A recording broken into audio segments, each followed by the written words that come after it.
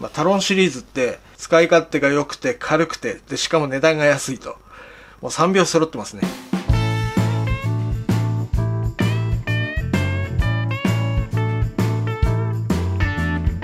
はいこんにちは。カパパです、えー今日はですねザックのご紹介です。はい新しいザックを買いました。30リッタークラスです。でね30リッタークラスは前も動画で皆さんにお見せしたと思うんですけどミレーのサースフェ30プラス5というのをしばらく使ってました。あの先日行った立山とかね、えーこの間行った焼岳。でもまあサースフェを使ってたんですが、まあ、事情があってねお嫁に行きましてね新しい30リッタークラスのザックをね、えーここ23日探してたんですがさあどれにしようかなと思った時に、まあ、ちょっと参考になったのが、まあ、これねあの僕が使ってる、まあ、オスプレイのタロン18という、まあ、ハイキングザックですね。とりあえずこれをずっと使ってる理由っていうのは、まあ、寸胴型ということとあとベルトが1本締め。で左右に、まあ、ボトルのポケットがあるということとあとショルダーがですねやっぱ上下で調整できます。あと当然ウエストベルトも調整できますしチェストもできます。あとやっぱりオスプレイの一番の特徴としてですねこの左のショルダーベルトと、まあ左のお尻のところに Stow-on-the-Go のループがついてると、まあ、 Stow-on-the-Go はねこの後あのご説明しますけど18リッター20リッタークラスっていうちっちゃいザックはアライテントのザックと、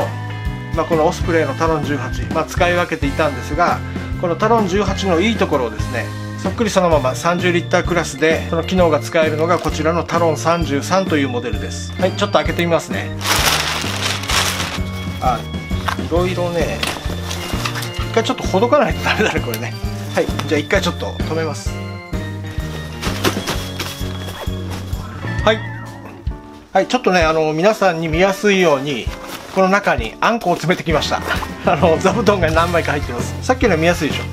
ょ。でねはっきり言うと特別何かこう特徴があるというモデルではないんですね。でオスプレイのザックって非常に機能が多くて有名なんですけどこれは逆にあの最低限の機能に絞ったモデルでで結果的にその機能を絞った分ですね非常に軽くできてます。それでね基本スペックをちょっと申し上げますと色はですね僕が買ったのはこれヤーバグリーンという色です。ML サイズというモデルなんで、まあ、33リッターの容量です。で推奨のパッキンウェイトは、まあ、7キロから13キロということで、まあ、声吐くぐらいまで。でこれでねあのちょっとキャンプとかっていうのはどんなにパッキンうまくしてもちょっと難しいと思います。で僕が一番ねいいなと思ったのは、まあ、重量ですね。920g って書いてありますが非常に軽いです。本当に軽いです。つい先日まで使ってたミレーのサースフェ30プラス5がですね約 1.4kg ぐらいあったんですね。でこれが 920g でしょ？そうするとねもう大体3分の2ぐらいの重さですから500のボトル1本軽くなったっていうのは結構大きいですね。このクラスのザックでは。まあ大体どんな風になってるかというとまあ33リッターですから、まあ、蓋はこの2本締めですね、まあ、こことここ。楽ようになってます。で蓋の内側は、まあ、オスプレイらしく縦にですねジッパーが入ってて、ま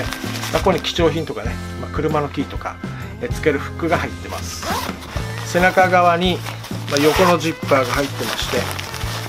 まあ、ここは結構ね、えいろんなものが入るようになってます。で続いてフロントなんですがこのフックを外します。そうしますと、えーここら辺にねちょっとしたレインウェアやキャップあとはタオルとかね、まあ、そんなのが入るぐらい結構深いですね。でこれ生地がね伸び縮みするんで結構入ると思いますよ。はい。でお尻の方を見てみますとここにピッケルループがついてますね。はい後ろです。あのオスプレイの場合は、まあ背中がちょうどネットになってましてね。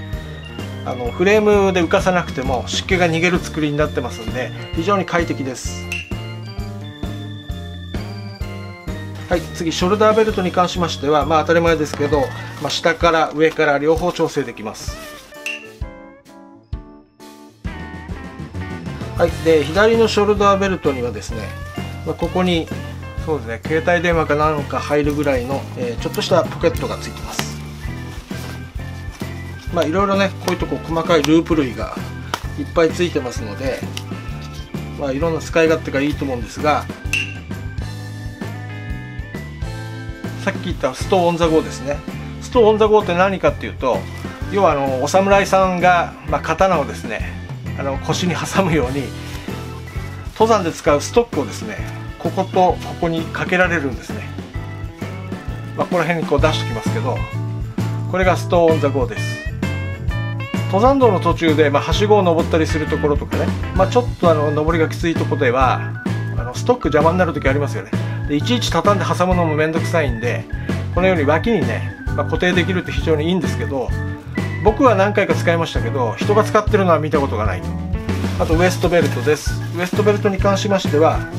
左右にポケットがあります。で左も右もほぼ一緒ですね。まあ、ここに、まあ、まあ、ボトルやあとはストックあとはテントのポールなんかを入れられるちょっと深めのポケットがですね左右にくっついてます。はいこれがタロン33でございます、まあ、今回ね非常にあのシンプルな機能満載ででしかも軽いということでおそらくどんな場面でも使えるんじゃないかなと思います。はいそれではね、え今日ご紹介したザックはオスプレイのタロン33色がヤーバグリーンでございました。はいご視聴ありがとうございました。カブバでした。